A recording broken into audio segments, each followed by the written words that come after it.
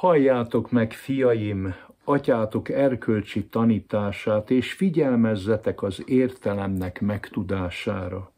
Mert jó tanúságot adok néktek, az én tudományomat el ne hagyjátok, mert én atyámnak fia voltam, gyenge és egyetlen egy az én anyám előtt.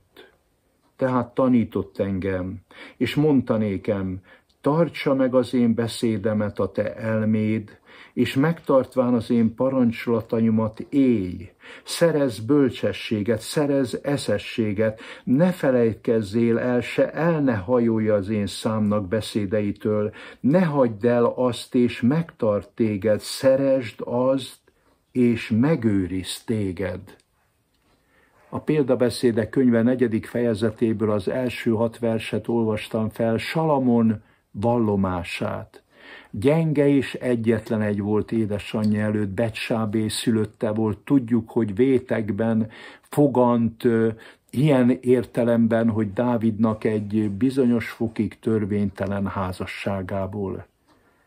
De Dávid az ő édesapja megtért, megváltozott, szembefordult szörnyűséges úriást és Betsábét érintő bűnével,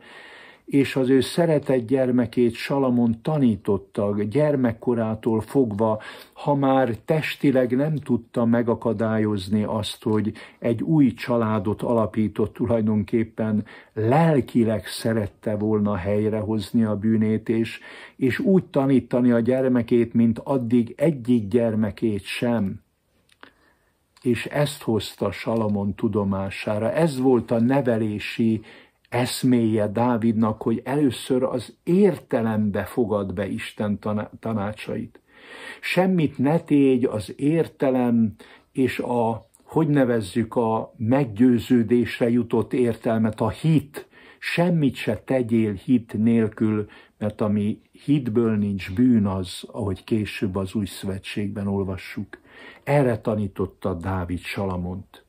hogy fogd fel a dolgokat, szerez bölcsességet, értelmet, eszességet, támaszkodj mindig Istenre, ez a legjobb nevelés. Ha nem is én nevellek, ember vagyok, az apád vagyok, persze idősebb nálad, bölcsebb vagyok nálad, főleg azután, hogy megtértem, azután mondhatom magamat bölcsebbnek.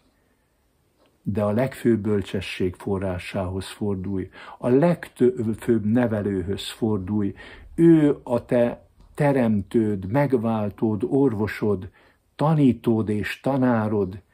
Istentől tanított legyél, mert már az Ószövetségben az új szövetség törvényei szerint élhettek az igazán hívő emberek, hiszen az új szövetség törvényét mondja ki majd Jeremiás könyve 31. fejezete, hogy Istentől tanítottak lesztek, és ezt isméti el majd János első levele hogy mindannyian Istentől tanított és nevelt emberek legyünk, hogy az Isten keze nyoma meglátszódjék rajtunk. Ezért mondta Jézus a mi atyánk első kérése szerint, hogy szenteltessék meg a te neved,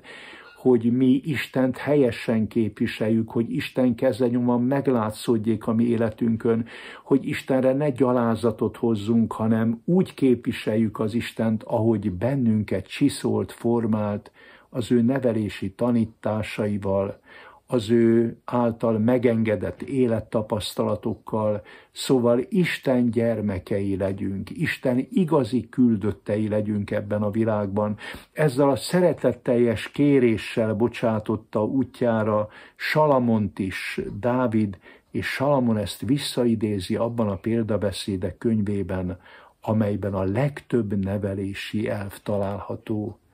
és rá is fogunk térni konkrétan ezekre a nevelési elvekre, de ezek előtt nem tudtam elhallgatni ezt a szeretetteljes történetet, hogy hogyan is tanította idősebb korában született fiát Dávid, Salamont,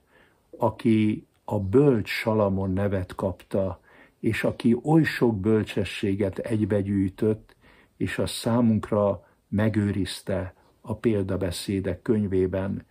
Javaslom, hogy e napokban, e szeptemberi napokban sokkal többet olvassuk, ha lehet többször is olvassuk át, olvassuk végig, és újra és újra vegyük elő a példabeszédek könyvét, és jelöljük be ezeket a nevelési elveket, amelyekre holnap majd egyiktől a másikig szeretnék rájuk rá is térni.